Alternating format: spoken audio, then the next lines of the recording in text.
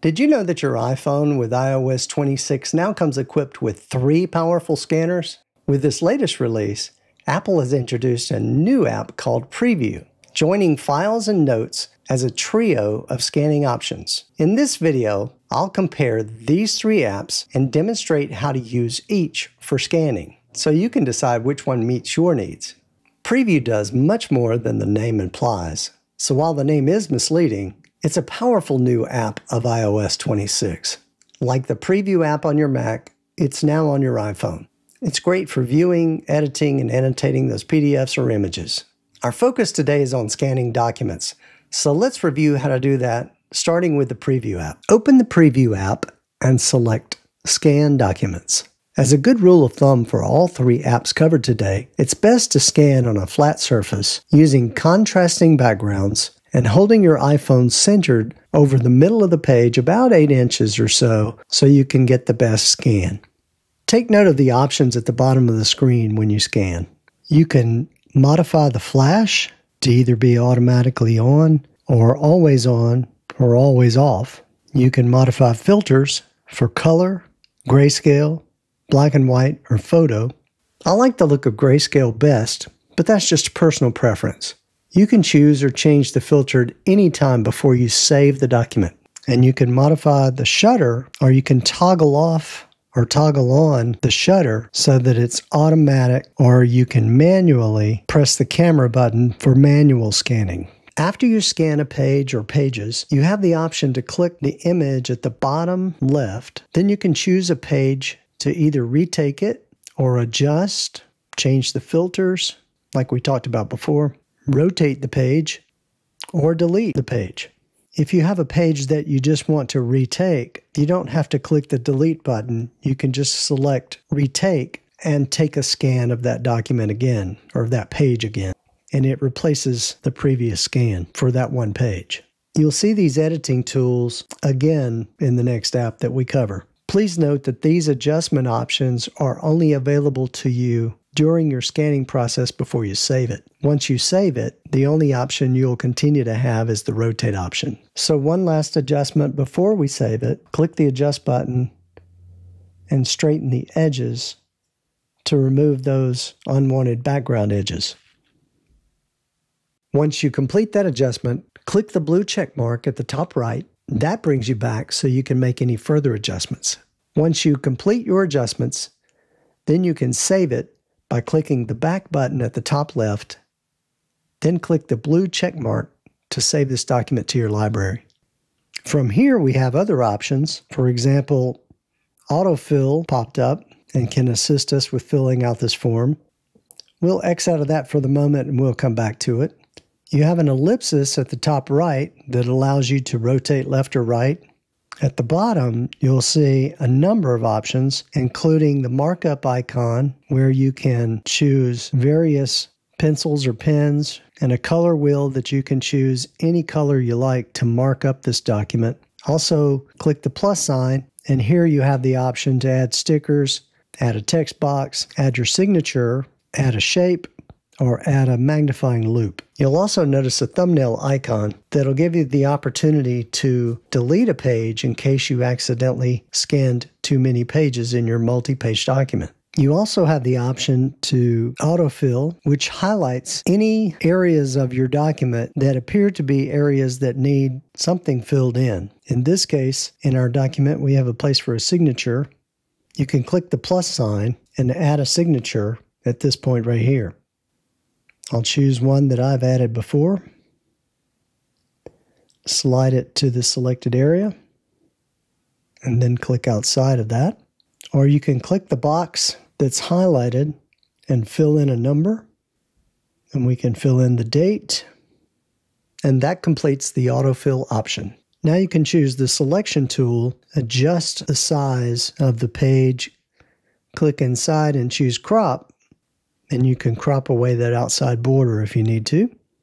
The I is just for information to give you information about the specific document that you've saved, the date, the time, etc. The share button gives you various options in this preview app. Clicking the Options button, we see that you can export with the current format HEIC, which is High Efficiency Image Container. This is Apple's default format for images on iPhones or iPads running iOS 11 and greater. JPEG for small files. This is probably best for photos. PDF, which is standard for smaller file sizes. PNG, which is best for graphics. Or TIFF is especially good for archiving higher quality images. Two more options that we haven't covered yet while we're still looking at this scanned document. One is that we have an option of searching within the document to look for particular words located in the document. And you'll notice that when you search for a word, it'll tell you how many occurrences of it, and it will point out that word with a small yellow highlight. You can click that blue check mark beside the search box to close that option out or that feature out.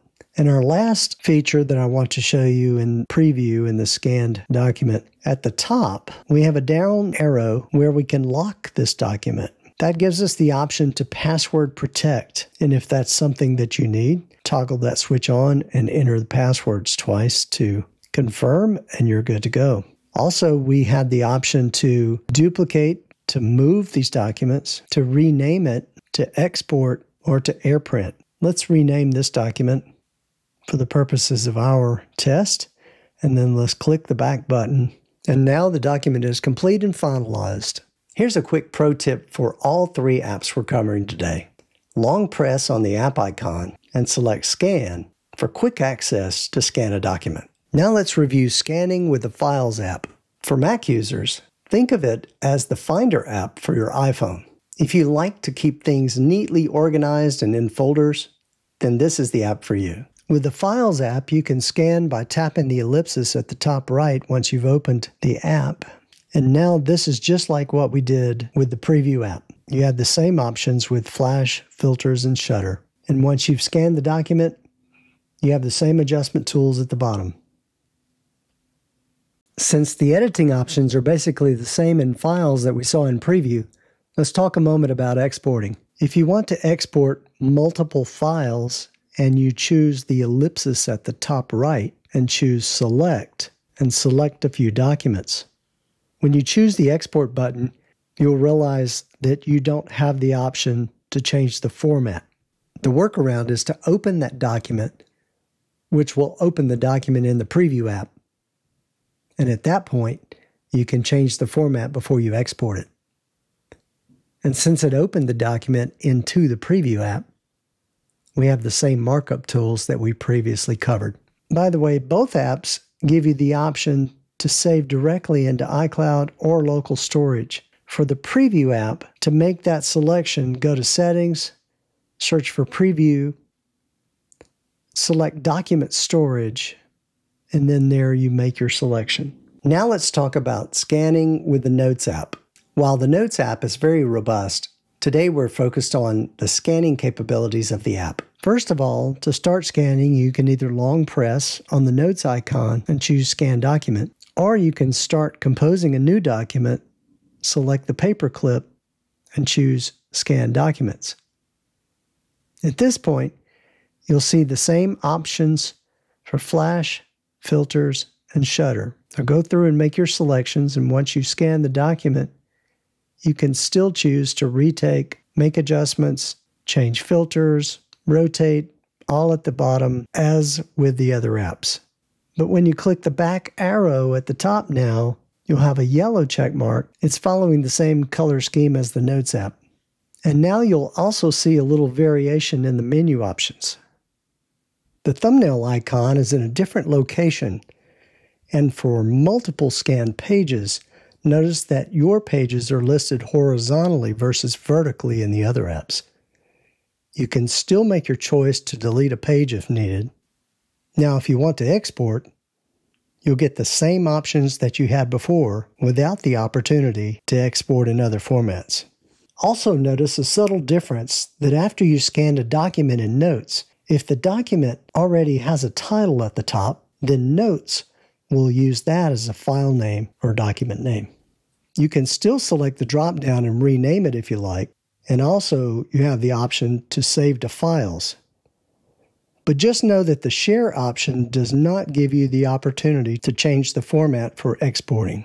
The workaround is to save it to files, then from files, you open it in preview and export it to another format if you like. You can use the markup tool to add a signature if you like for fillable forms, or add a text box to it, as the markup tools are basically the same.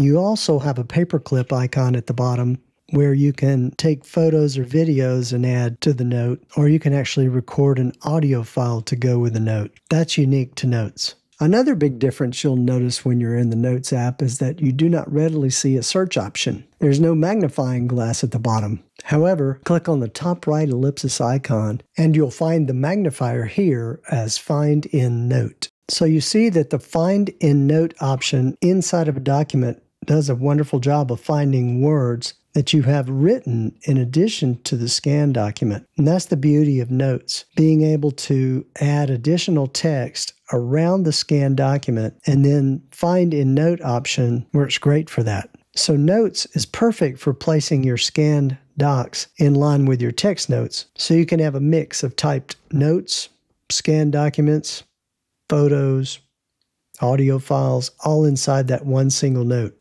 and it still has the markup tools if you want to highlight or draw on them. So, depending on your use of scanned documents, you have three powerful apps in iOS 26 to choose from. So, which one are you going to use?